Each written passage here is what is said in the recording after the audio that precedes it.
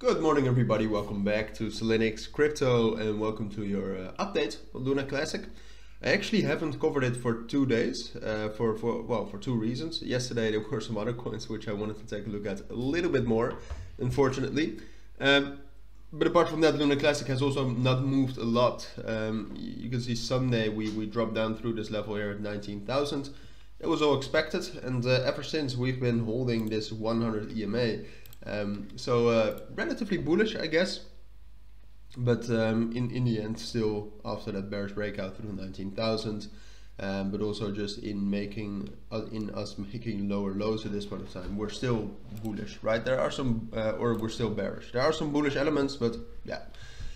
But we'll talk about that and uh, and there are some other things I wanted to talk about regarding Luna Classic as well.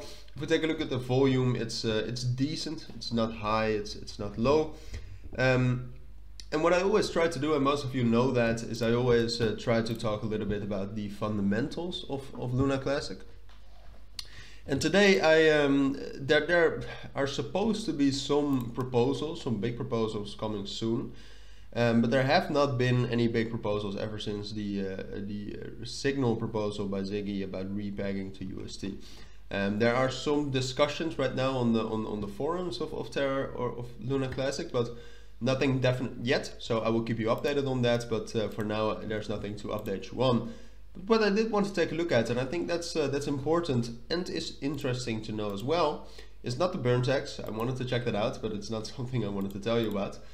Um, but the total value locked of Luna Classic is actually doing fairly well. I mean, it was fairly high when the price was fairly high, which is, uh, well, usual, uh, because the total value locked obviously grows with the price.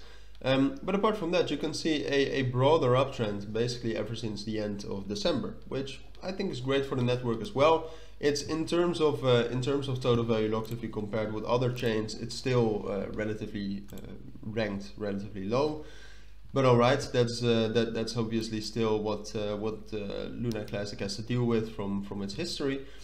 Um, but apart from that, Luna or at least Terra is one of the most and I believe, and you should um, you should definitely correct me if I'm wrong, but I believe that this is Luna Classic. Um, at least it still shows that as, uh, as, as the main source code, and you can actually see that there is a lot of uh, a lot of development on that. I'm actually starting to doubt myself quite a bit that this is um, is it that this is the right Terra.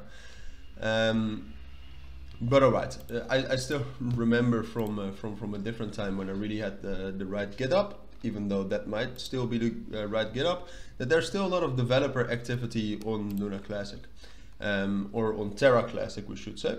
Excuse me. Um, so altogether, I mean, the network is, is doing fairly fine, and we have some bullish things coming up as well in February, uh, with obviously the Binance burn at the end of the month, and we still have, uh, I mean, there, still has to be some continuation uh, continuation of the Luna Classic and the USTC repeg. Um, so we'll await that. Until that time, I do think we're more bearish than bullish, as I said in the beginning. therefore, what I expect is that we'll, we'll slowly, right now this 100 EMA is holding us fairly well. I think we might actually still hold that. I think we'll consolidate. I don't think we'll be that volatile, but eventually I do think we'll drop down to this level uh, between 17,500 and 17,000 and again consolidate on top of that and it's it's basically waiting for the next uh, next bullish news for Luna Classic um, whether that's about the Binance burn which all right that would be quite long or whether it's a new proposal or something so some new news about the USTC repeg idea um, I do think that at some point we'll, we'll, get news like that and that we'll be able to break above 19,000 and, uh, and, and at least get up to 19,500. Whether we'll break that, I'll leave that up to me at that point when we get that bullish momentum. For But for now, it's, it's really just waiting for that momentum.